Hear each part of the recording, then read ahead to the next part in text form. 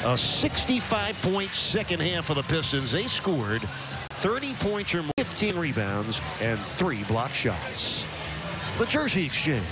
Dwyane Wade and the NBA's best rebounder, Andre Drummond. So a 35-point fourth quarter for the Pistons. They nailed down the win, 119 to 96.